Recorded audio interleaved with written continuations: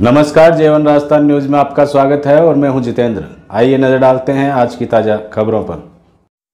खबर नागौर ज़िले के नामा सिटी से है, जहाँ उपखंड मुख्यालय के झील क्षेत्र में हो रहे अवैध अतिक्रमण, बोरवेल, विद्युत केबलों व पाइपलाइनों के खिलाफ प्रशासन की लगातार तीसरे दिन भी कार्रवाई जारी रही। नागौर जिला कलेक्टर पीयूष सांवरिया ने अधिकारियों को निर्देश दिया है कि झील क्षेत्र में अवैध कारोबार के खिलाफ कार्रवाई करते हुए अतिक्रमण हटाएँ, जिसके तहत जिला कलेक्टर के आदेशों की पालना में स्थानीय प्रशासन की ओर से लगातार तीसरे दिन भी कार्रवाई जारी रही। शनिवार को झील क्षेत्र में नावा में अतिक्रमण हटाने, उपखंड अधिकारी ब्रह्मलाल जाट, तहसीलदार सतीश राव, विद्युत विभाग के जेईन लोकेश कुमार, भू अभिलेख निरीक्षक पटवारी, विद्युत विभाग के कार्मिक, नगरपालिका टीम, पुलिस जाब्ते के साथ जाबदी नगर खाकड़ की झील क्षेत्र में कार्रवाई हेतु पहुँचे।